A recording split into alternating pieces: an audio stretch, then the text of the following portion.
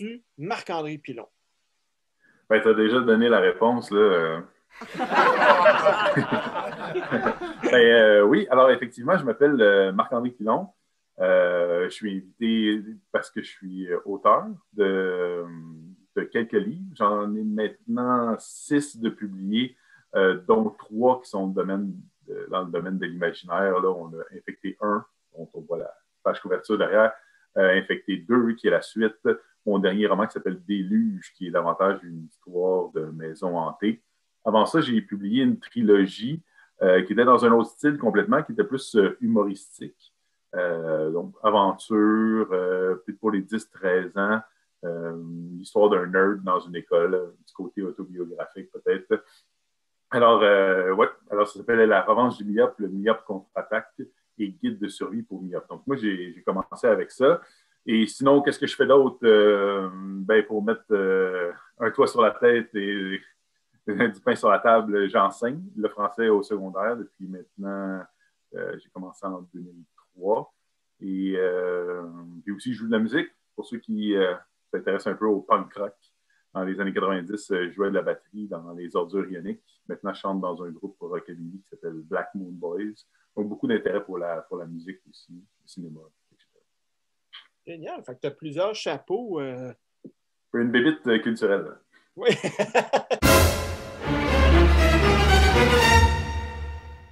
ça faisait un moment que j'avais envie d'écrire de l'horreur. Même si je n'ai pas commencé avec ça, je dirais que ce qui m'a introduit tout d'abord à la, lecture adulte lorsque j'étais ado, c'est Stephen King. Bon, j'avais commencé un peu par les frissons au primaire, puis j'ai rapidement gradué à Stephen King.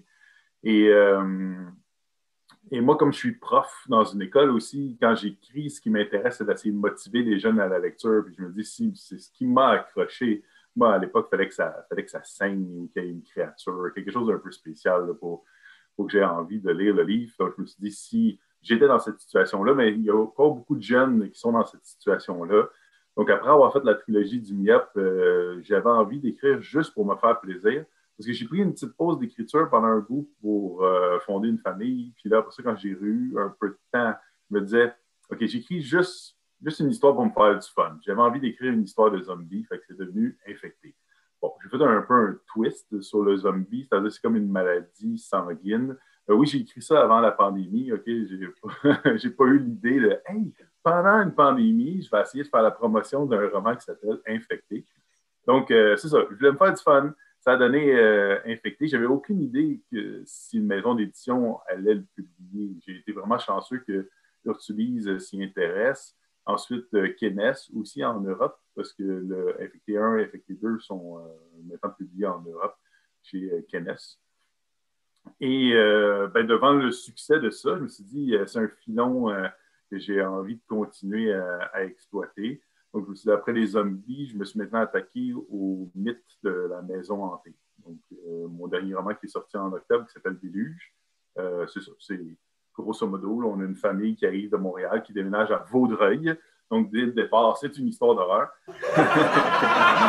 et là, euh, il arrive donc dans une, dans une maison ancestrale un peu spéciale.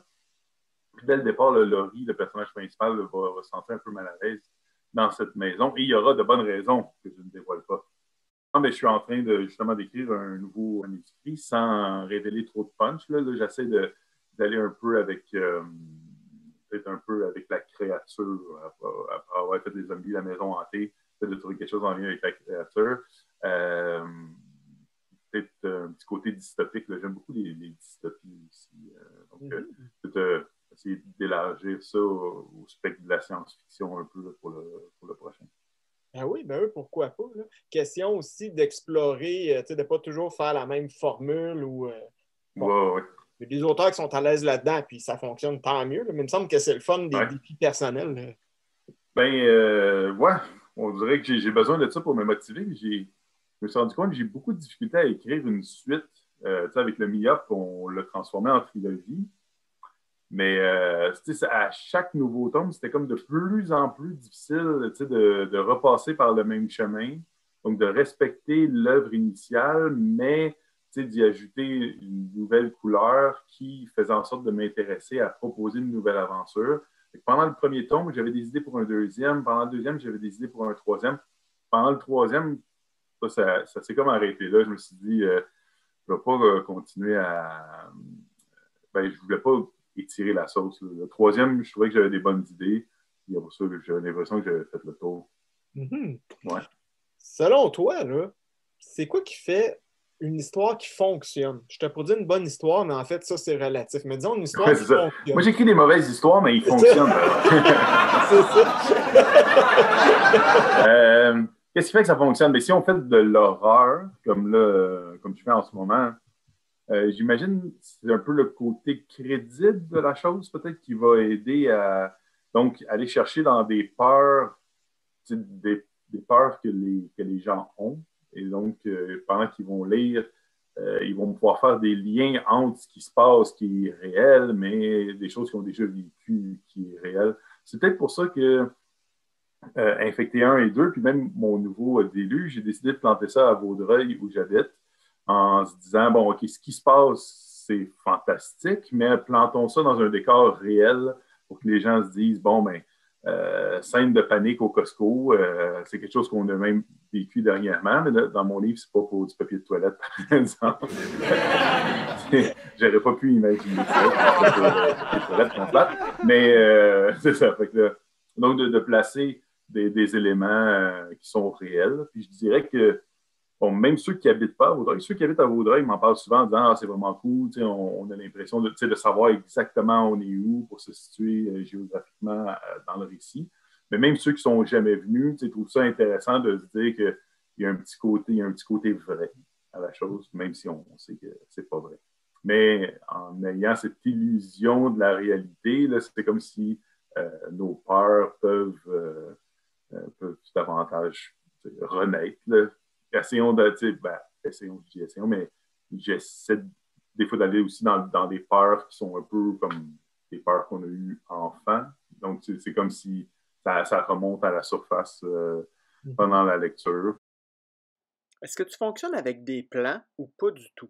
Et quand j'ai écrit mon premier livre, j'avais vraiment euh, comme une vision assez mathématique de la chose.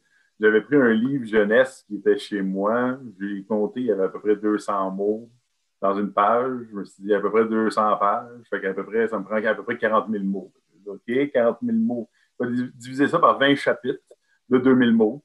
Puis je vais faire 10 chapitres, je me rends quelque part, ça s'effondre, puis là, on a l'impression de recommencer. Donc, comme deux parties, deux fois 10 chapitres. c'est ça que je me suis dit pour mon premier. Puis, ben, ça, ça, ça, a fonctionné. Mais je m'étais fait une liste avec mes, mes 20 chapitres qu'est-ce qui allait se passer dans les 10 premiers, qu'est-ce qui allait se passer dans les 10 autres. Mais c'était quand même succinct. C'est-à-dire, chapitre 14, j'avais écrit euh, Food Fight. je voulais une bataille de bouffe dans mon histoire, mais je ne savais pas pourquoi elle allait avoir lieu, ni ce serait quoi le but, mais elle allait être au chapitre 14, par exemple. a donné qu'elle fait au bout au chapitre 14. mon instinct m'a bien guidé euh, par rapport à ça. Euh, donc, les MIOPS étaient assez planifiés. Euh, mais par la suite, j'ai participé à un, projet collectif dont les gens à la maison ont peut-être entendu parler, qui s'appelle Cobaye, qui est sept romans. Et c'est écrit par sept auteurs différents, mais les personnages peuvent se croiser. moi, je faisais partie des sept euh, idéateurs autour de la table lorsque, comme tous les auteurs, on sortait des idées pour voir qu'est-ce qu'on allait faire avec ça.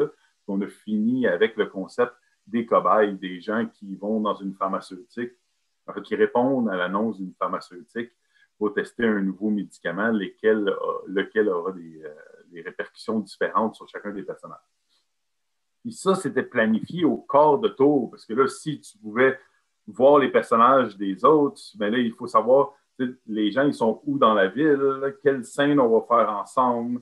Euh, tu peux pas écrire que le lundi, il pleut, si dans l'autre livre, le lundi, il fait beau. Fait qu'il fallait avoir une météo commune, une géographie commune. Euh, des plans qui euh, s'intercalaient. En tout cas, je pense que ça, c'était tellement planifié que après ça, quand j'ai écrit Infecté, j'ai fait pas de plan. mes derniers, je les ai quand même écrits pas vraiment de plan. Mais quelqu'un qui le lirait s'en rendrait pas compte. Moi, je dirais qu'au départ, peut-être bon d'avoir un plan pour ses premiers écrits, puis ensuite, on dirait qu'il y a des mécanismes euh, narratifs qu'on intègre en cours de route qui font en sorte que tu vois, Infecté 1 et Infecté 2 ont tous les deux comme 30 chapitres, euh, ben, ben, ben carrés, euh, le même nombre de mots, mais ça a donné comme ça, ça, ça, a sorti comme naturellement, entre guillemets. Mais écrire pas de plan, si on n'a pas beaucoup de temps pour écrire, comme c'est mon cas avec l'enseignement, une jeune famille, la musique, etc., des fois, c'est frustrant parce que, euh, bon, comme par exemple avec Infecté 2, il y a bien des choses que je voulais dire. Euh, j'avais des personnages que j'ai comme euh, obligé de jeter aux poubelles, des lignes narratives que, que j'ai complètement mis de côté. Mais avant de les mettre de côté, je les ai toujours bien écrits. Fait qu'avant de finir avec mon 45 000 mots, j'en ai peut-être écrit 70 000 que j'ai pas arrêté de, de, changer, modifier. Puis bon. Fait, fait que ça peut être aussi la perte de temps de, de s'en aller, comme ça. Mm-hmm. Ça dépend, mais ça, ça laisse aussi le, récit peut-être plus respirer des fois. C'est comme de se dire, je pensais pas qu'il s'en allait là, le récit, mais il, s'est rendu, puis il y a une raison. Donc, euh, ouais, peut-être euh, éventuellement la formule hybride. Mais les gens à la maison, je conseille un plan pour commencer. Super! Quand j'ai écrit La revanche du MIOP, euh, une des grandes inspirations que, j'avais à ce moment-là, c'était la série euh, Le dernier des raisins de Raymond Plante. C'est une série qu'on m'avait fait lire en secondaire 3. Et comme je disais, moi, je disais pas mal plus de fantastique, Stephen King, horreur, euh, science-fiction. Donc là, tout d'un coup, un prof m'oblige à lire sur l'histoire d'un jeune nerd québécois qui n'arrive pas du tout à séduire euh, une demoiselle. Puis, mais mettons que ça m'avait quand même parlé pas mal. Je trouvais qu'il y avait un petit côté euh, de ma propre réalité à l'intérieur de ça. Et donc, euh, quand c'est venu le temps d'écrire, je suis d'abord allé un peu dans l'autobiographique, puis ce qui s'y rapprochait le plus, ça a été le dernier des raisins. on peut quand même dire que ça m'a influencé dans l'écriture de mes premiers romans. Euh, mais sinon, les romans qui m'impressionnent le plus en ce moment quand j'ai lu, c'est des romans qui réussissent à, être zéro cinématographique parce que le, cinéma veut, veut, pas est venu formater notre façon d'écrire où c'est comme un espèce de, scénario très, très, très visuel dans lequel euh, bon, on a des dialogues, de la narration, mais grosso modo, c'est quand même un film. Ça, peut être un synopsis de film. Puis je m'exclus euh, pas de ce commentaire-là, c'est-à-dire mon écriture est très cinématographique. Mais euh, quand je lis des trucs comme, mettons, Milan Kundera, où tu dis, s'ils font un film avec ça, il va juste rester 10 de l'histoire, parce que tout le reste, c'est la psychologie des personnages, la philosophie, l'étymologie, l'histoire. Ça nous rappelle que la littérature, ça peut être beaucoup plus riche qu'une suite de péripéties.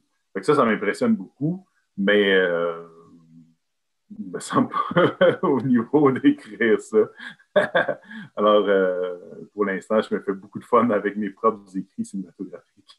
Ben, c'est ça qui est important, c'est de s'assumer dans ce qu'on fait, dans ce qu'on peut slash veut faire aussi. Tu. Euh, parce que tout truc, des fois, qui nous impressionne ou qu'on se dit Waouh, mais pourquoi tendre vers ça? La personne l'a déjà fait. Oui, il faut y aller avec euh, ce, qui, ce qui nous parle. Puis d'ailleurs, ça me fait penser, quand j'ai écrit La revanche du Biop, euh, j'ai commencé à l'écrire en 2009.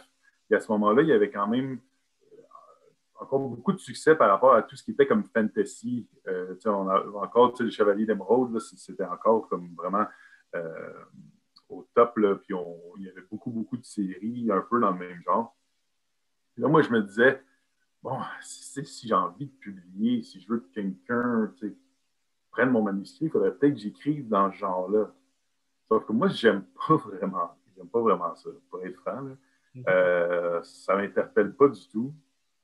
Je me suis dit, bah, essaye pas d'écrire quelque chose qui ne te parle pas, dont tu n'as pas envie. Fait qu'à la place, j'ai écrit La revanche du Liop, pouf, j'ai tout de suite eu comme des, offres pour le publier, parce que comme je ne savais pas trop comment ça marchait, je l'avais envoyé pas mal à tout le monde en même temps. Fait que là, il y a comme cinq personnes qui sont venues euh, frapper à ma porte pour dire Hey, on aimerait ça publier le, le livre. Et tu vois, je suis comme, OK, ben, j'avais eu quand même un bon instinct d'écrire par rapport à ce qui me tentait plutôt que ce que je croyais qui était nécessaire d'écrire pour être publié. Puis tu vois, à partir de là aussi, La Revanche du a été publiée en 2011. Et, il me semble que le, le, fantasy a de plus en plus, tu la, la, scène, il y, en, y en a encore, il y a encore des gens qui, adorent ça, mais on en voit beaucoup moins publié chez les éditeurs québécois. Et donc, euh, ben, j'ai un peu bien fait de ne pas essayer d'arriver avec euh, quelque chose qui ne me parle pas au moment en plus où c'était en déclin, en guillemets. Et euh, puis les modes, ça revient. bientôt, ça, va, revenir. Mais quand ça va revenir, je n'essaierai pas plus. Il faut, y aller avec ce qu'on aime et ce qu'on connaît. C'est important, c'est vraiment important ce que tu dis là, parce que tu es des auteurs, parfois, ça n'enlève rien à ce qu'ils font. Mais moi, je ne me sens pas dans ce qu'ils disent. Tu sais, qui disent moi, j'y vais selon ce qui marche parce que je veux être lu par le plus grand nombre tout le temps, tout le temps, tout le temps. Puis là, tu te dis, oui, mais ça te ressemble-tu? C'est pas important. Moi, dans ma tête, pourquoi tu écris? Tu sais, je veux dire, c'est juste pour être. Ben, euh, moi, j'avouerais que j'ai jamais personne qui m'a avoué, ça, mais euh, toi, tu jases pas mal plus à tout le monde que moi. mais, euh, ouais, mais je me dis, qu'est-ce qui marche? Qu'est-ce qui marche? Tout d'un coup, il y a des choses qui ne marchaient pas hier qui, marchent demain. Là, et si tu crois en ce que tu fais, si tu y mets l'énergie qui va être une énergie contagieuse, je pense qu'à partir de ce moment-là, ça peut. Euh, ça peut. Ouais, ça, peut fonctionner. Ça va avoir plus de sens aussi pour, pour soi, pour l'auteur. Hmm. Comme par exemple avec Infecté, il y, a quelques éditeurs qui, euh, m'ont dit euh, euh qu'il y avait beaucoup de récits, mais qui avait l'impression que la, la, vague zombie était passée. Puis, euh, ben, effectivement, c'était vraiment, vraiment comme le, pic. Là, on parle des zombies, puis tout le monde écrit des trucs de zombies. C'était peut-être autour de 2012. Euh, c'est d'ailleurs comme 2012-2014. C'est dans ces années-là que j'ai eu mon, idée, mais que je n'ai pas pu finalement la faire euh, ben, avec la famille, etc. Puis quand je me suis assis, je me suis dit, non, c'est pas grave, je, la sors, cette histoire-là. Puis, tu sais, il y a des récits qui finissent par, justement, revenir à la mode. Ou peut-être que ça aurait été plus populaire en 2012-2014, mais je pense que le, livre a trouvé son public pareil. J'avais souvent lu des auteurs dire que, que écrire, c'est un peu douloureux. Puis quand j'écrivais pas, je comprenais pas vraiment le concept. De, de, mais pourquoi tu ferais quelque chose de douloureux, mais euh, l'écriture, on dirait que c'est quelque chose qu'il faut que tu fasses. Ça ne s'explique pas vraiment, mais comme tu es toujours en train de réfléchir, dès que tu as du temps, tu, passes du temps là-dessus, tu as, tes histoires, tu vis avec tes personnages, puis tu veux faire avancer tes choses jusqu'à arriver à une conclusion. As-tu des trucs pour les jeunes auteurs? Moi, je dirais, euh, ben, premier truc, c'est la, la persévérance, c'est-à-dire continuer à, en, ajouter par-dessus en ajouter par-dessus en ajouter pour se rendre au résultat final. Euh, une fois qu'on a le manuscrit, qu'on sait où ça part, où ça se rend, de ne pas avoir peur de sacrifier des choses, de se dire Hey, j'ai passé comme des heures et des heures et des heures là-dessus, il faut que je le laisse. Non, tu n'es pas obligé de le laisser. Comme... Pendant que tu l'as écrit, tu pensais comme quelqu'un qui écrit, mais une fois que tu as terminé, il faut que tu penses comme quelqu'un qui lit. Alors, la personne, pendant qu'elle te lit, sais, est-ce que c'est essentiel? Est-ce que c'est clair? Est-ce que finalement, ce bout-là, on est mieux de le couper pour donner de la force à l'ensemble? Puis, si ce personnage-là, qui me paraissait essentiel au début, l'est pas, il faudrait peut-être y enlever des scènes pour donner des scènes de plus à d'autres aussi, des fois, pour que euh, certains personnages puissent respirer davantage dans l'ensemble. Et donc, c'est ça, pas avoir peur de sacrifier des choses, pas avoir peur de, recommencer même, mais euh, de continuer à persévérer. Des fois, quand on écrit et on se dit Ah, aujourd'hui, il me semble que c'est pas bon, continue. Des fois, après ça, quand tu le relis, tu es comme C'est pas si pire ça finalement. Ou Ouais, c'est pas bon, mais maintenant, je sais pourquoi c'est pas bon, puis je sais qu'est-ce qu'il faut que je, modifie pour que ça devienne bon. Donc, euh, ça. Puis moi, je me relis beaucoup, beaucoup, beaucoup dans le sens que pas juste j'attends que c'est fini, puis là, je me relis, mais en fait, à chaque fois que, à chaque fois que j'écris quelque chose de nouveau, je me, j'écris pas plus que, je dirais, 2000, 3000, max, peut-être 4000 mots avant de dire, il faut que je relise tout. Et à chaque fois que je lis, ben, j'aplanis certains, certains problèmes du départ ou j'élague, rajoute, puis plus ça va, donc plus ça s'améliore. Puis quand j'arrive à la fin, c'est moins décourageant de se retourner et de dire Ah, il reste encore tout ça à faire parce que ça a été fait un peu en, en chemin. Ouais, ouais, ouais. C'est génial tout ce que tu réponds. C'est vraiment excellent. Moi, en fait, c'est le genre de truc moi, que j'aurais aimé entendre. Tu sais, là, recul de 20-25 ans. et, ah, wow! C'est tous des super trucs, là, mais dans le fond, on ne sait pas tout ça. C'est euh, ce qui nous paraît évident des fois. Pour quelqu'un qui commence, ben. Ouais. Ben, quand tu commences aussi, des fois, tu développes tes propres trucs. Donc, si j'avais juste essayé avec les trucs de quelqu'un d'autre, peut-être que ça n'aurait pas été bon non plus, mais c'est des trucs que j'ai développés. Pour dire, quand j'ai écrit La revanche du myope, j'avais plus de temps libre qu'en ce moment. Euh, puis souvent, ma, conjointe, euh, à l'époque, mais elle travaillait des soirs et fins de semaine. Fait que, je me retrouvais où euh, j'avais quand même du temps libre. Fait que là, les, les fins de semaine, des fois, je relisais tout, tout, tout, tout, tout ce que j'avais écrit avant d'écrire comme du, nouveau stock, ce qui faisait en sorte que, à chaque fois que j'ajoutais quelque chose, mais j'étais toujours dans la même lancée, la même lignée, ça, ça gardait aussi le, même style. Parce que si tu écris quelque chose sur six mois, voire un an, peut-être même plus, des fois, tu peux te rendre compte en cours de route que, oh, il me semble que j'écris plus de la même façon dans le deuxième tiers que j'écrivais au début du roman. ça, ça peut donner une problématique aussi. D'ailleurs, avec Infecté 1, quand j'ai commencé à l'écrire, je dirais qu'il restait peut-être un peu de myope, de ma façon de, que j'écrivais dans le myope qui, était encore présent au début du manuscrit. Mais quand l'histoire euh, s'est peu à peu développée par elle-même, devenue de plus en plus sanglante, ça n'avait plus beaucoup de sens d'encore avoir un peu ce ton-là au début du roman. Donc, il a fallu que je revienne pour changer le ton du début pour que le ton de l'ensemble fonctionne. À qui s'adressent tes livres, surtout, disons, les infectés et déluges? Ben, nous, on fait un marketing 14 euh, plus. On se garde euh, une petite gêne. Euh, faut pas qu'on ait des gens qui, capotent à cause du sang ou des scènes plus violentes. Surtout que dans Infecté 1, des fois, il y a de la violence réaliste aussi. Parce que des fois, bon, avec des zombies, même s'il y a beaucoup de sang, ça peut être BDS. Euh, on se dit c'est pas trop grave, c'est un peu comme un jeu vidéo, mais je tenais à avoir aussi de l'horreur réaliste, pas juste de, l'horreur euh, fantastique. Donc, des scènes qui peuvent euh, peut-être choquer des fois plus, les jeunes lecteurs. Donc, c'est ça. On y va avec un, un peu l'idée que c'est des romans jeunes adultes, mais je dirais que, dès le secondaire, beaucoup de gens en secondaire 1 qui lisent ça, même du monde euh, fin primaire, là, mais là, rendu là, en tant que prof de primaire, je ne le suggérerais pas aux élèves. Mais quand, à titre personnel, tu te sens prêt à, lire, euh, moi, je disais Stephen King à 11 ans, donc ça, ça, ça dépend. C'est tellement Ça dépend des, des lecteurs.